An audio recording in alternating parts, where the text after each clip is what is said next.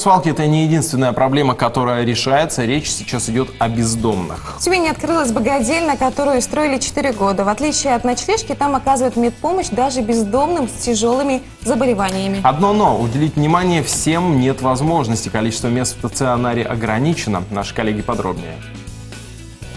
Ее рабочий день, как и у многих, начинается в 8 часов утра. Только Анне в одиночку нужно сварить 50 литров каши, испечь маники и нарезать овощи. Это обед для бездомных и малоимущих. Но если раньше он состоял из 250 порций, то теперь готовят всего 60. Многие умирают, к сожалению, приходят. Наши прихожане говорят, что вот тот-то умер наш дружочек, тот-то. Уже готовый обед Анна раздает у железнодорожного вокзала. Ежедневно ровно в час за кашей приходят те, кому она не по карману. Иногда с очередной порцией Игорю Хохрину перепадают и лекарства. Заболеть на улице проще простого. туберкулез, воспаление, как правило, то есть пневмония,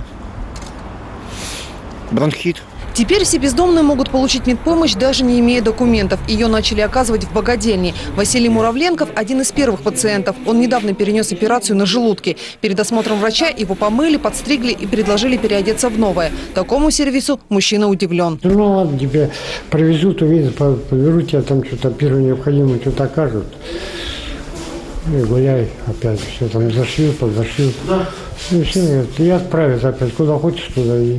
А здесь своеобразный стационар, а точнее замена амбулаторного лечения. После перенесенной операции пациент с документами или без находится в больнице определенный срок. А дальше необходимо уже выписать на амбулаторное лечение. А у них какое амбулаторное лечение?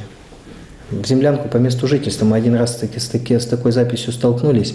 И вот чтобы вот этот, с одной стороны, у э, врача, который выписывает, а он должен выписать, он не имеет права дольше держать, да, вот, внутренний конфликт, а куда он его выпишет?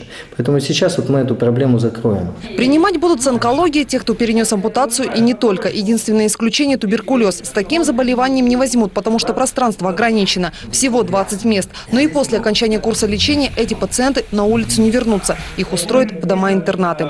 Людмила Чепурных, Павел Михайловский. Сибинформбюро.